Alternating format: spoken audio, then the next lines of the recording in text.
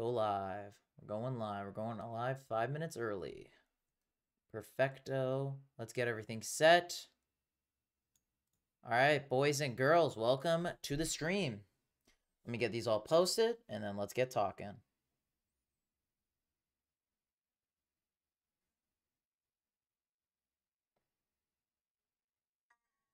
Okay, let's go. Who's all ready? Who's all ready? Who's all here?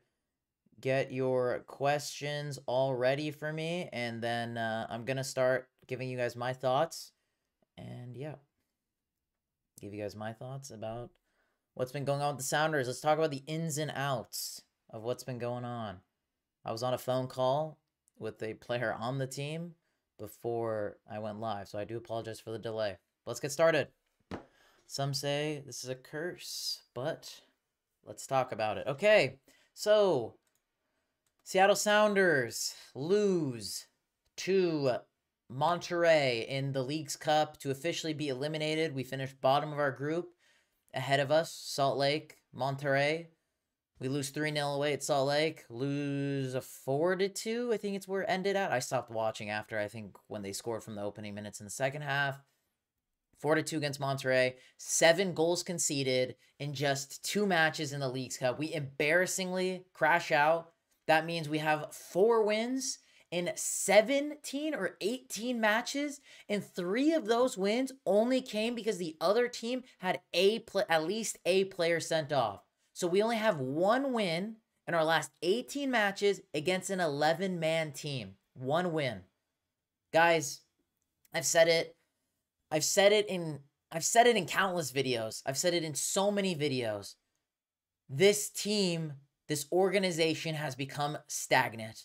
For a year and a half, it has been, I would say, t- for the past two years, the Sounders have just started to fall behind in MLS.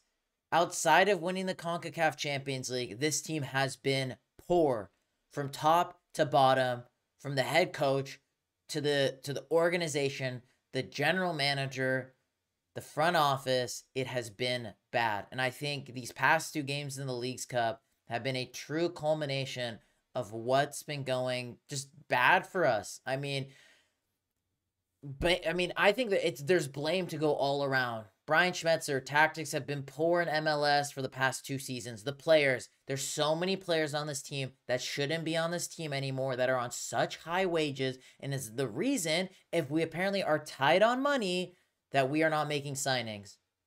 The LA Galaxy, Inter Miami, the Colorado Rapids, they're all making signings. Those are the three bottom half teams, the three bottom teams in the MLS this season, and they're making changes. We're a team that is slowly but surely trickling down the standings, and it's just we're become so stagnant. MLS is changing, but the Sounders aren't changing. It's just so frustrating to watch from us. It's so frustrating to watch.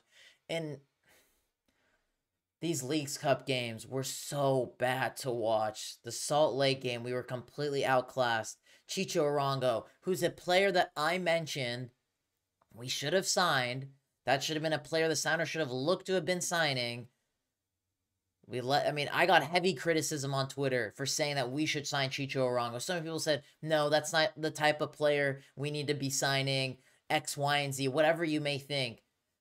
He absolutely has been killing it in MLS. And not only that, is he killed the Sounders. He destroyed us when he played. Then we play Monterrey. You know, the beginning of that game, I mean, that was vintage Sounders for maybe like the first 25, 30 minutes. We it was vintage. I was so close to tweeting, this is a Sounders of old. This is a Sounder that I haven't seen in so long. And it kind of a bit frustrates me that why can't we do that on more occasions? This team is clearly capable of being a, a strong team to be on the front foot, to score goals, take the initiative. But then, I mean, the team of old, the team that we've been seeing for the past couple of years, comes and creeps back at us. I mean, that's just basically been the Sounders all year. I mean, this game against Monterrey may have just summed up the Sounders season. Started off really hot. Granted, I consider that a purple patch. That's just my philosophy for it. And, you know, I'm tired of seeing the excuses. I'm so tired of seeing the excuses from from fans, from from Craig Waibel, from Brian Schmetzer, from the players. I mean, it is just so, so hard to watch. It is so beyond hard to watch from this team because people are just excusing the clear, clear lack of ambition, being so stagnant, and it's so upsetting to watch. Where do I stand on this? Where do things need to change? There's a lot that needs to change. I mean, Brian Schmetzer, I don't, again, I'm on the fence with Brian, and a lot of people had big issues with the players I said we should keep or sell. I mean, guys, the reality is these aren't your kids. These players are players. Ruidíaz, Nicholas Lodeiro make what? Combined, what each one make about three million a year. They're our most paid players.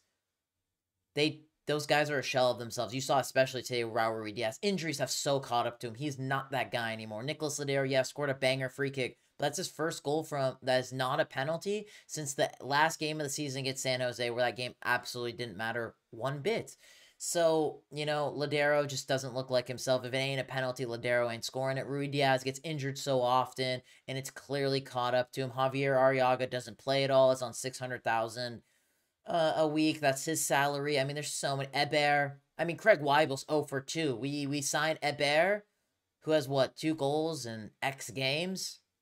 Samuel Adeniran was a player that a lot of fans kind of had. I mean, if you kind of know, you know, he he was a guy that we we had, and uh, you know, he's 23, 24 years old, had high expectations from the games he did play. I think he looked really good. Didn't get many chances last season. We sold him to St. Louis City. He's already doing better than Héber, and he's 10 years younger than him, give or take, more or less. About 10 years younger than him. So he can only get better. Well, Héber's only going to get worse. I mean, Craig Waibel, you're already 0 for 2 in that regard, so it's not a great start by him. Ruidíaz, I mean, Lodeiro, I mean, there's so many players that just shouldn't be on this team. And the reality is the Sounders need to rebuild. Everybody in the league is changing. The league is changing. The league isn't the same from three, four years ago. The league has changed. This team needs to change. I'm on my knees. I think it's blame for the players and for Brian Schmetzer. They're both just not good enough. I'm I'm on the fence with where I stand with Brian, but with the players, I've said who we should keep, who we should get rid of. The fact that, you know, Léo Chú's a really good player, but like he is nothing special compared to great players the Sounders have had. He is great. He's a great young talent. But when you look at the likes of like an Obafemi Martins, Clint Dempsey, a Mauro Rosales, a young Fredy Montero, I'm trying to think of other players, Marco Pappa, he's not nearly that good because the expectation has gone so low for this team. So, so low for this team. It's gone so low. And it's just like, guys, I mean, I know we're in like what fourth or fifth place in the standings, but when you watch every single game, this it doesn't represent how we're playing because of how bad the Western Conference is this year. Everyone in the West is bad. Sounders, they don't score goals. And when they do, the defense just concedes so many goals. There's no consistency. And you know, I know this wasn't a talking point or something that was really mentioned, but the fact that against RSL, we played the back line of Frei, basically the same back line we played against Monterrey. So we play that back line of Nouhou, Yeimar, Jackson Ragen, and Alex Roldan. And we play the same one again against Salt Lake, the exact same defensive lineup. The defensive lineup that conceded three goals. The one that conceded three goals. And dude, RSL had 10 men when they scored the third one. I've said it and I'll say it a million more times until something changes. I, I'm not trying to be the bad guy. I'm not trying to be the bad guy, but this team needs to change. I know you guys might love Lodeiro. you might love Ruidíaz. you might love Jordan Morris. But Lodeiro's not a player that should be our highest paid player. You look at other DPs around the league, he's just not that guy build the statue, but he has to move on. Ruidíaz, you know, arguably the greatest striker in Sounders history. I mean, has one of the best games to conversion rate. But we're holding on to these players for too long. Ouch, I, I hit my arm on my desk. We're holding on to these players for too long. It's like the Batman quote. It is exactly like the Batman quote. Die being a hero, but live long enough to see yourself become the villain. And that's what we're seeing with Brian, with the players and Craig Waibel, man, that guy. I mean, when I watch every single press conference, it's so irritating to watch from him. So, so irritating. He's not fun to listen to, saying that this group of players is, is special and like this and that. let's bring in somebody. Let's freshen this team up. If, okay, if we have a tight, if the Sounders are tight on money, sell players. There are so many players that are dead wood in this team that still are getting paid high, high amounts of money. Change. There's nothing wrong with change. That's how you develop, that's how you grow is by making changes. If it if you know the the definition of insanity is doing the same thing over and over again and expecting a different result. We've had the same team for about 3 years now. After MLS Cup 2020, this team was long overdue. Lodeiro had a year of constant injuries. I know he was a big part of us winning CCL, but last year was the time to sell Lodeiro. He's been flirting with going back to Uruguay with Nacional. I mean, one rumor doesn't, I mean, one rumor, sure, it could be a fluke, it could be a false rumor, but the rumor of him going back to Nacional has been going on for a couple of years now. And I love the video they just released of him, but Jesus Christ, my guy. Oh my god, he's making so much money just to score penalties. And I get it, that's not necessarily his game. But dude, DPs around the league, Mukhtar, Vela, Bouanga. I mean, the players Inter Miami are bringing in, and I know Inter Miami is Inter Miami, but LAC Inter Miami, they have found the system in the salary cap they're bringing in players like Bale, Bouanga, uh, a player I forgot what his name was, but he was on the Golden Boy shortlist. Buke, that's what his name was. Buke, Golden Boy shortlist guy as well. Inter Miami, Busquets, Alba, constant young great players from South America, from Boca Juniors, River Plate, wherever. They're bringing in these players. While we are bringing in Héber. We've made two signings in the last two years. Granted, one was Albert Rusnak, but we're playing him at center defensive mid. When is Albert Rusnak played center defensive mid? And you can tell it is hurting his game. He is not the offensive player with that confidence of getting at least 10 goals, 10 assists for an attacking midfielder at Salt Lake. He's not that same guy. This team has digressed. This team has gotten worse. Four wins in 18 matches. That was worse form than when Sigi Schmidt got fired back in 2016, where we ended up winning MLS Cup. This is worse form than that. And three of those wins came against teams that had at least a player sent off. So we only have one one of those wins are against an 11-man team, which was against the New York Red Bulls. This team is dry. It's cold. It's not the same team it used to be. As soon as we decide we want to rebuild this team, last season should have been the start of it. We got rid of Will Bruin, which I think was a great start, but that was the only player we sold. The only player we, we literally sold an old striker to bring in an old striker.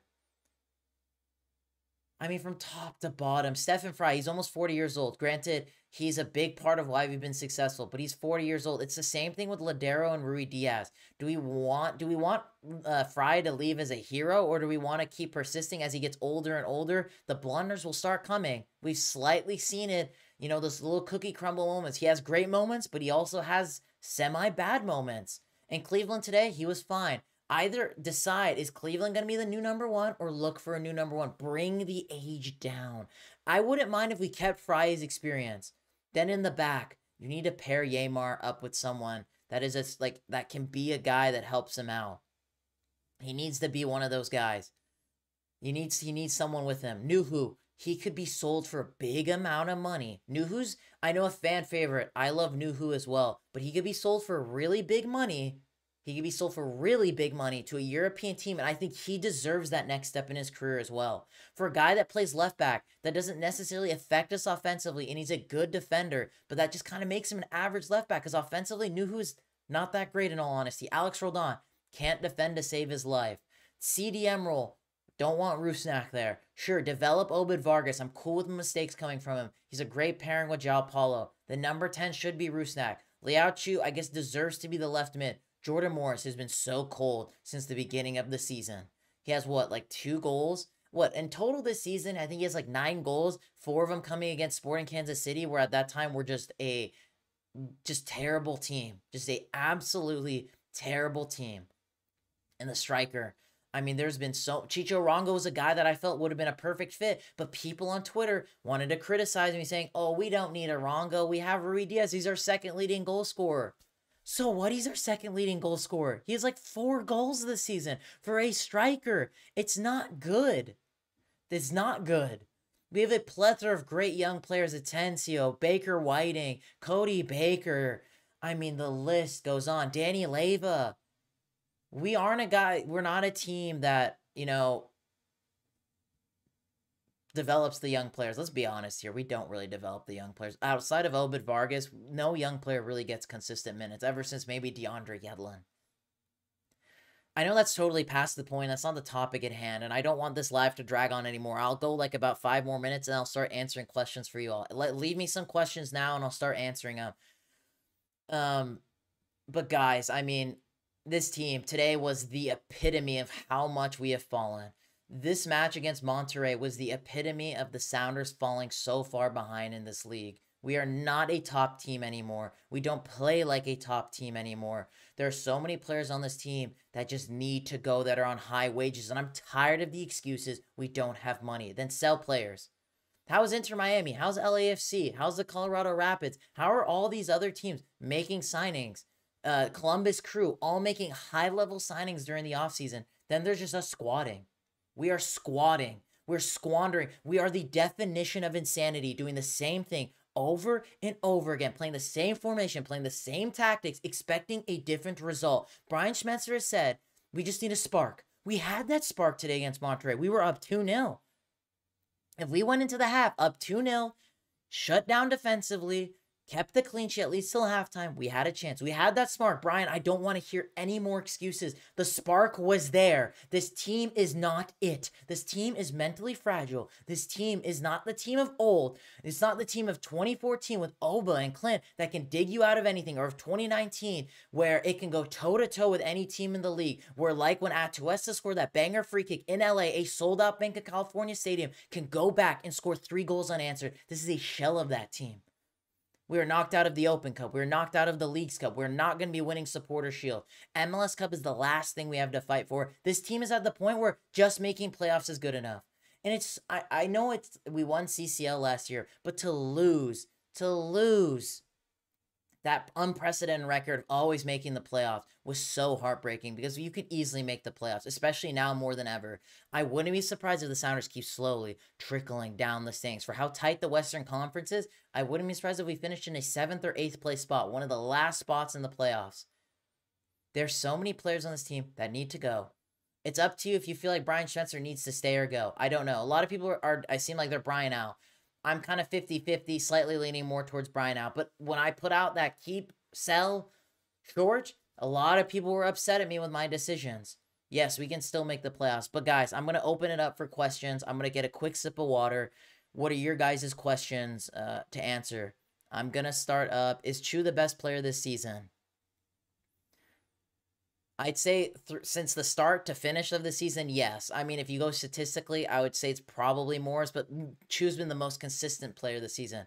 Look, I agree. We need to change, but saying we need to sell the entire team is completely un. I agree. I'm not saying let's sell the whole team, but the process needed to start last season. It needed to start last season. We needed to sell at least like two to three to four players. I mean, no one's gonna pull a Chelsea and sell basically their whole squad because that's not gonna happen. We've never seen that in the in the world of soccer. But these changes needed to start, you know, last season, selling a few players because now we're left with more problems than we need at this offseason. There's gonna be a lot of contracts that are gonna run out and needed to start last season. Uh, let me continue with what you guys were saying. Uh, I need to catch up. Chu has been the most consistent player, which is very true. Waibel said three, four players are playing for contracts this year. Okay, we'll see if that's even true. we are a time cube, stayed in 2020. Yep.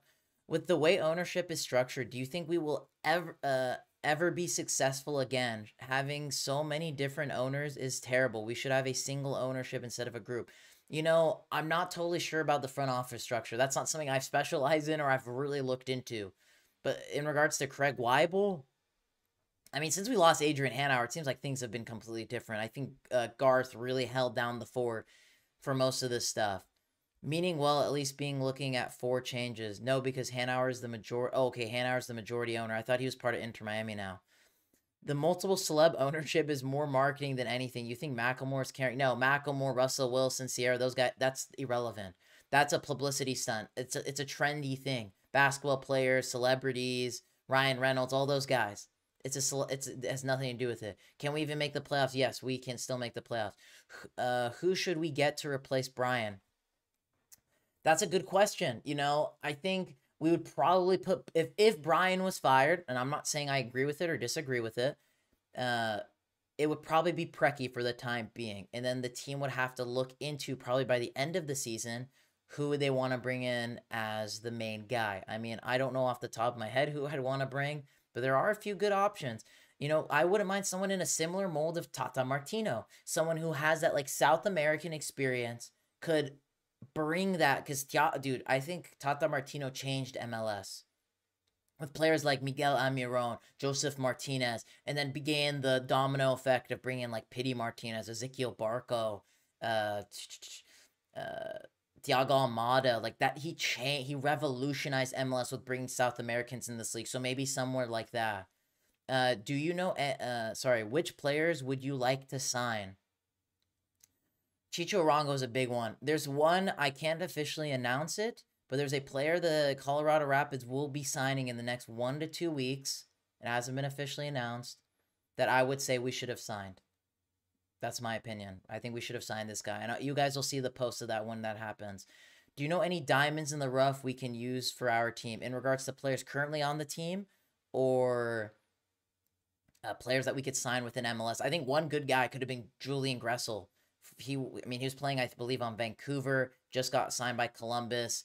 He could have been a guy we could have used. I think one that just signed on loan to San Jose was Akinola, Ayo Akinola from Toronto. I mean, we saw how good he was in his first season for Toronto. I mean, I'd love to see Samuel Adeniran maybe back. I'd have to really look through things. I mean, I think there's a lot of diamonds in the rough of players that we could sign from Asia, for example. I think that's a very hidden hotbed area that MLS could look into investing more in. We might need to replace Roldan as well. Hopefully not because his concussion problem. Yeah, he's now consistently getting concussion issues. What formation should we change to to the end of the season? You know, I think we had some of our best success.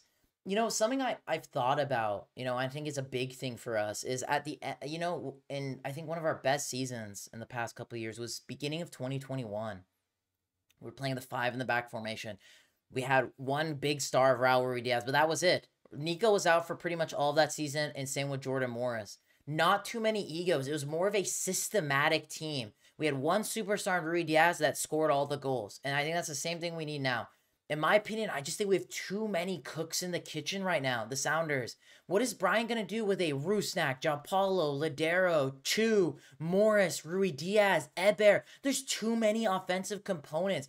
Build a more structured team because you can see how much of a headache this is for Brian having to shoehorn Lodeiro out on the right or to the left, Morris at sometimes at striker, at left mid, right mid, Rusnak at CDM, which you can see has clearly affected his game.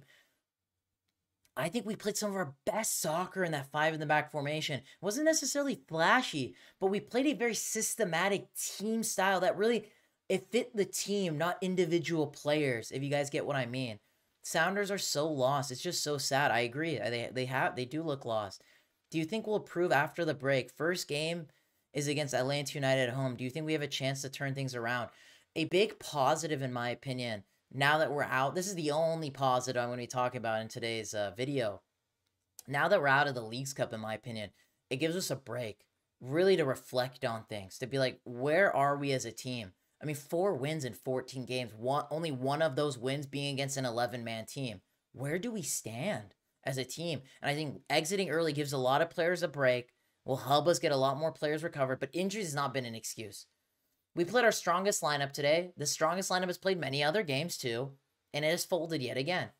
This team's just not good enough. I don't want to hear injuries as, as an excuse. Every team goes through injuries. Then bolster your squad so you have depth on the bench. It's so simple. We've been complaining about the injury thing for three years. You've had three years to bolster your team. That's not a valid excuse. Will we change things around? Based off of what we've seen, Atlanta United are now a team semi-struggling. They have a lot of star players that get them out of jail, like they get out of jail free cards. Those players, I wouldn't be surprised if we lose uh, in that game. We always lose to the struggling teams. We've seen it. San Jose, uh, Sporting Kansas City, Austin FC, we're Charity FC, so I don't see it happening. Is Yeimar even reliable anymore? Yes, he plays well on occasions, but is also lackluster at times. I agree, and that's the same thing with Jackson. More so, I think, with Jackson Ragen. But yeah, Yeimar today got sent off.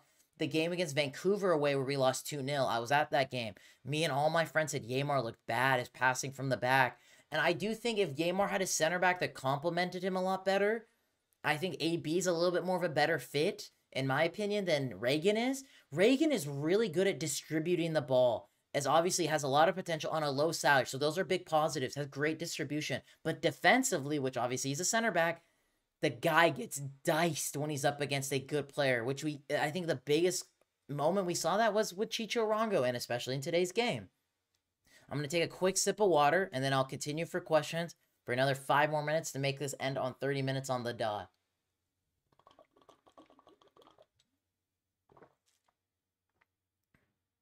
Let's see. Héber, Ruidíaz, Lodeiro, Alex Roldan, Nouhou, Frei, and possibly Ragen, Rusnak, Roldan, Montero. What do you think?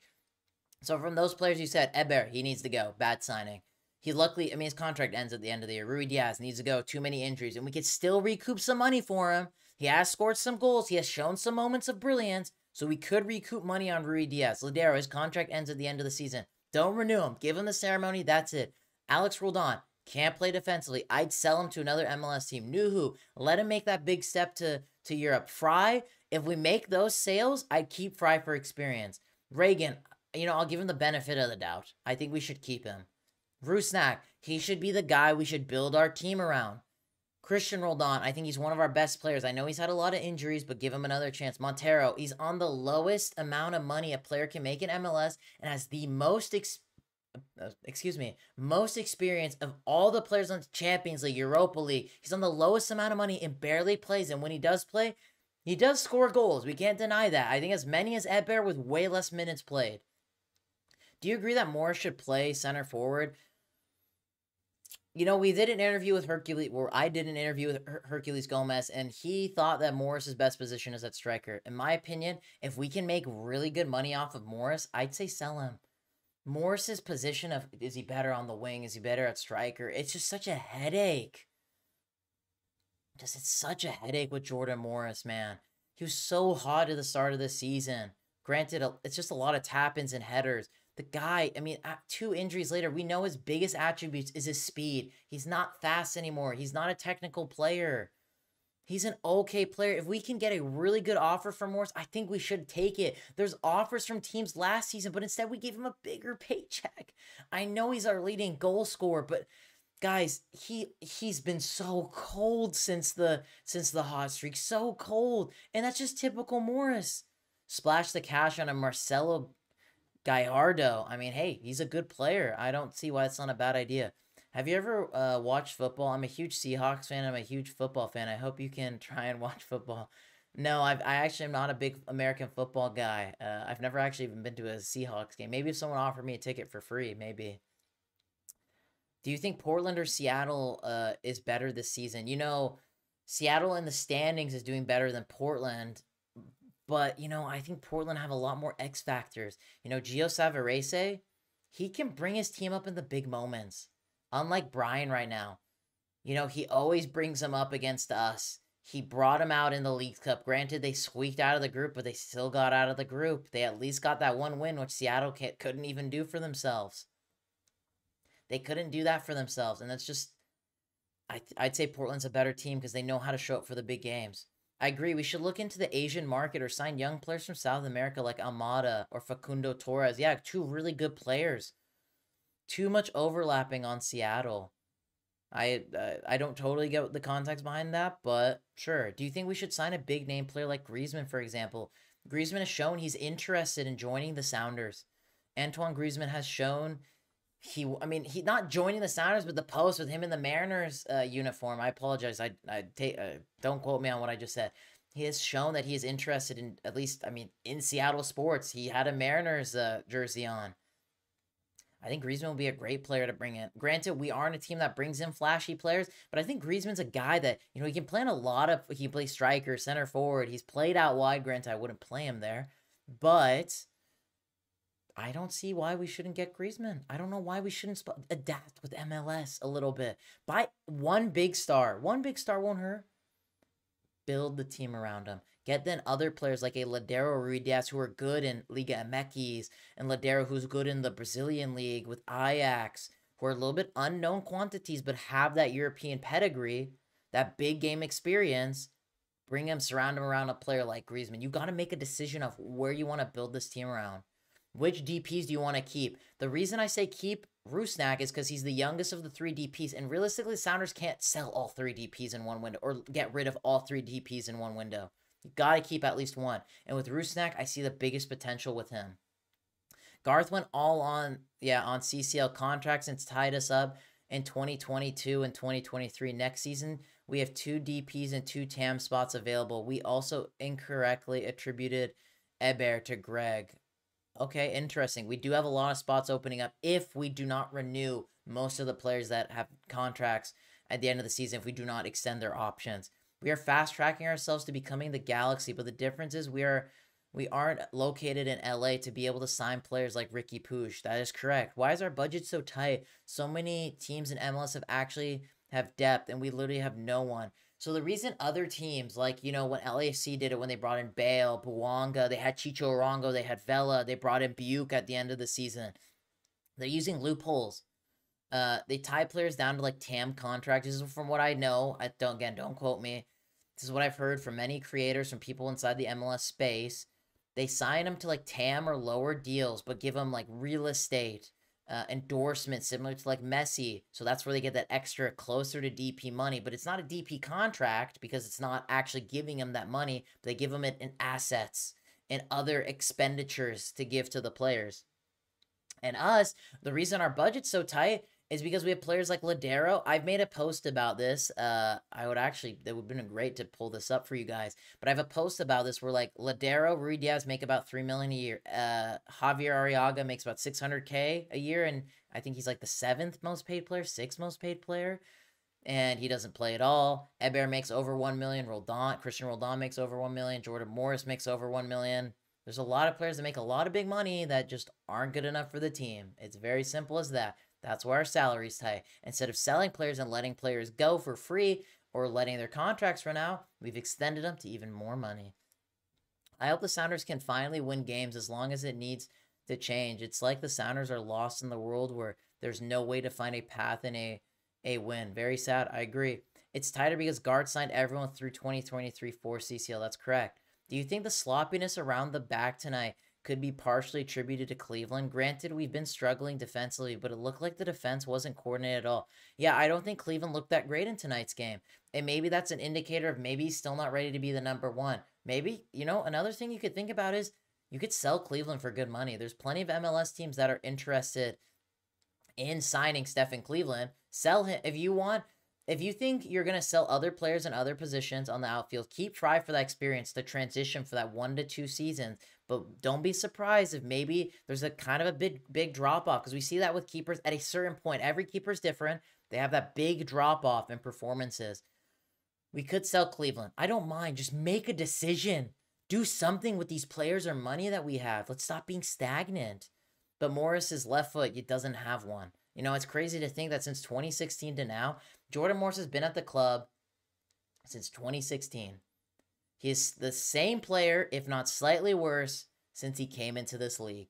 Isn't that kind of sad to think about, guys? That's the problem I have with Jordan Morris. He's been in the league for seven to eight years, and he is not any different from the day he joined in 2016.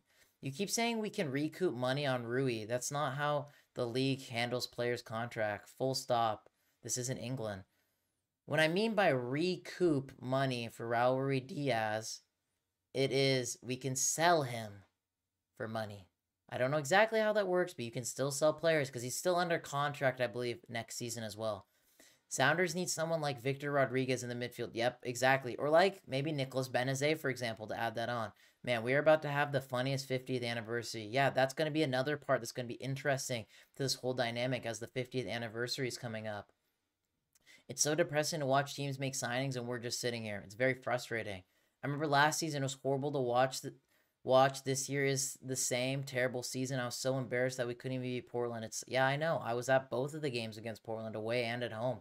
It wasn't fun to watch. Do you think some something small or big, like rebranding or a new logo, could change the environment of the club? No, it doesn't change anything. It doesn't do anything. What changing the logo? Doesn't change how the players play. It doesn't change how the tactics uh, are played. It's still going to be the same team. That's not how things change. These aren't ways you change the club or change a win uh, a losing streak.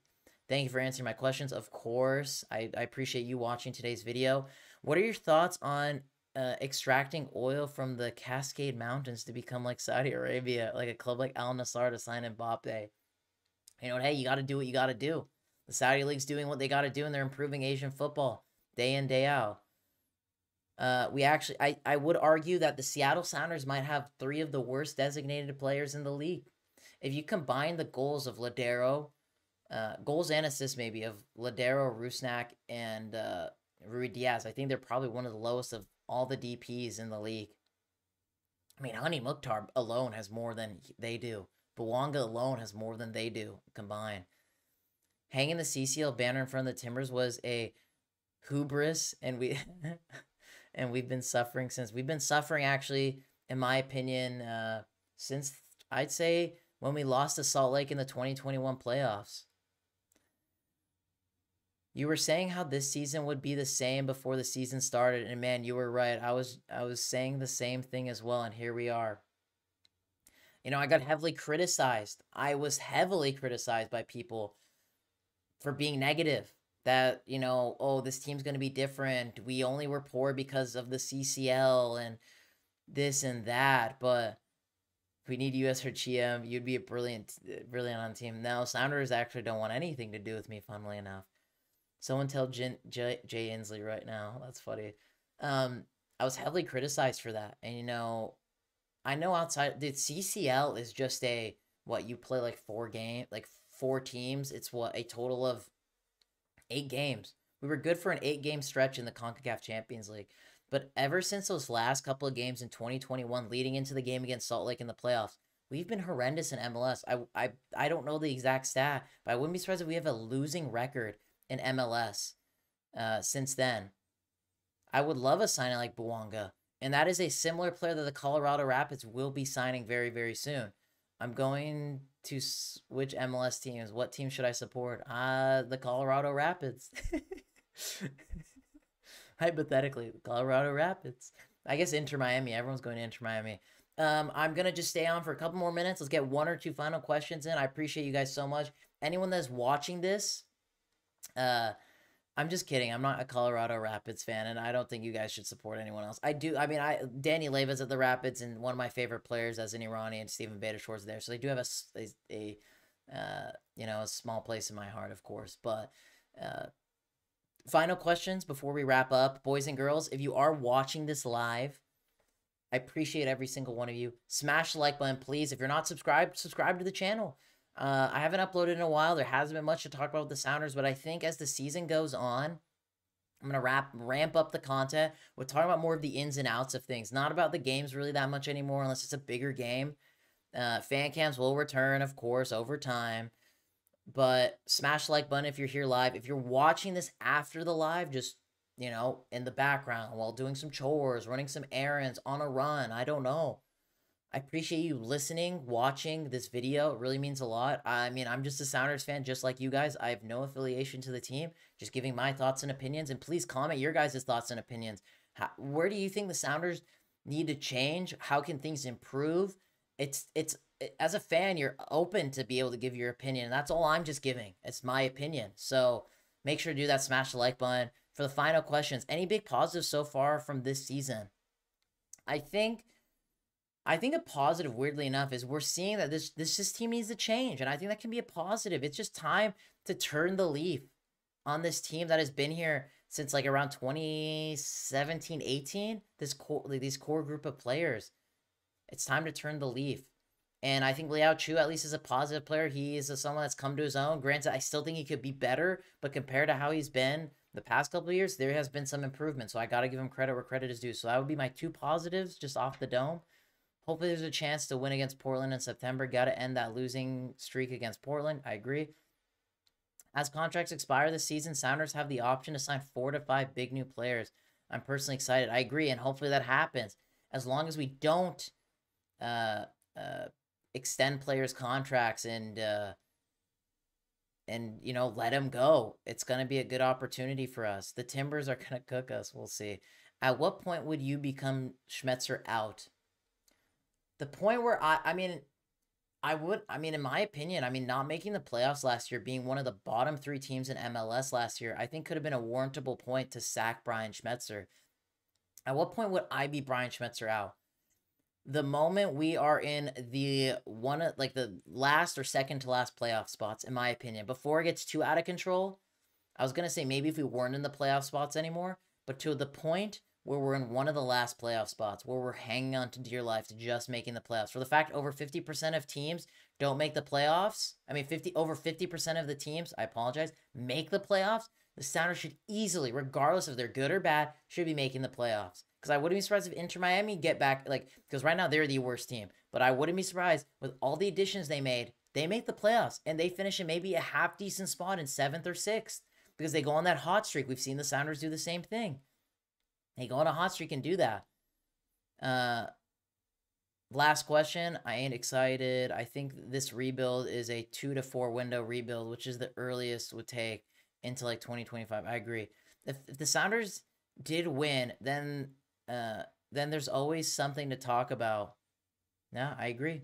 I agree. Boys and girls, that's going to wrap up today's live. We were here for about 40 minutes. I appreciate, I truly do. I appreciate every single one of you if you came from Instagram, Twitter, wherever. I appreciate you guys, bottom my heart. Smash the like button on today's video. Share this with whoever you want to share this with. A buddy of yours that might feel the same way, wants another perspective of a Sounders fan. It really would mean a lot. If you guys are watching this uh, as a video, not as part of the live. I appreciate you guys watching up to this point. Smash the like button, subscribe if you're not subscribed already. I told you I'm going to start ramping up content near the end of the season. And boys and girls, I hope you'll have a lovely day.